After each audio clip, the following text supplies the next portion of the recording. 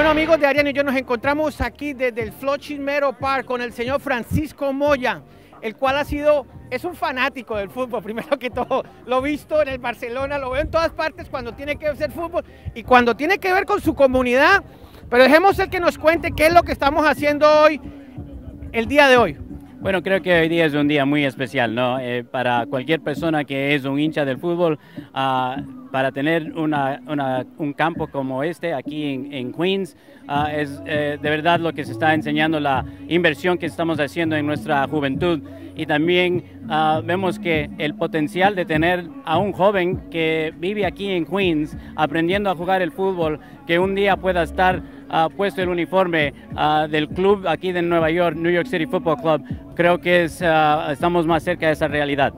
Bueno, lo que puedo entender es que es, es, un, es un evento de donde se reúnen varias, la empresa privada, eh, la alcaldía y el New York City Football Club, que es uno de los equipos que creo que es lo, el que está liderando esta iniciativa. Bueno, eh, vemos que también aquí es bueno cuando uh, tenemos a diferentes uh, auspiciadores uh, para programas que dan incentiva incentivaciones para que nuestros jóvenes no estén en las calles, pero estén en un local que eh, sea productivo. También les está demostrando eh, cómo es trabajar en un equipo, ¿no? Eh, no es solo el fútbol, pero es para, también para el futuro.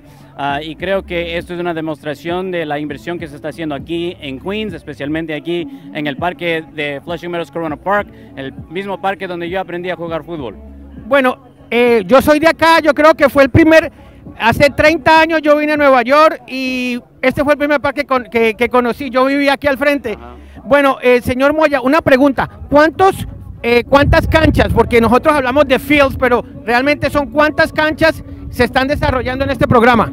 Bueno, eh, creo que la, la, misión de ellos es tener uh, un, unos uh, pocas, como 10 mil, creo, canchas en toda Nueva York durante cinco años que están uh, uh, promoviendo eso. Uh, pero aquí en, en, Queens creo que esta es la tercera que han hecho y van a seguir haciendo más.